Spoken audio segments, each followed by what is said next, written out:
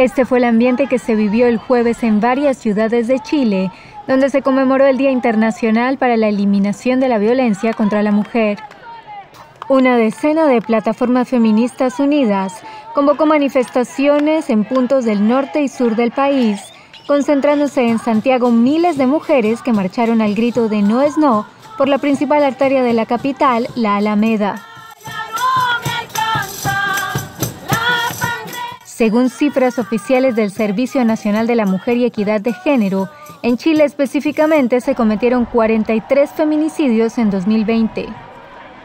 Sin embargo, la Red Chilena de Violencia contra Mujeres consignó 58 asesinatos machistas, en parte porque la legislación del país solo consideraba feminicidio hasta principios de 2020 a los asesinatos perpetrados por una pareja formalizada. En marzo del año pasado se aprobó una ley que amplía el rango a las relaciones informales o a manos de desconocidos si tienen una causa de género. El Día Internacional para la Eliminación de la Violencia contra la Mujer fue impulsado por el movimiento feminista latinoamericano a inicios de la década de 1980 para conmemorar la fecha en la que fueron asesinadas 20 años atrás tres hermanas en República Dominicana, Minerva, Patria y María Teresa Mirabal.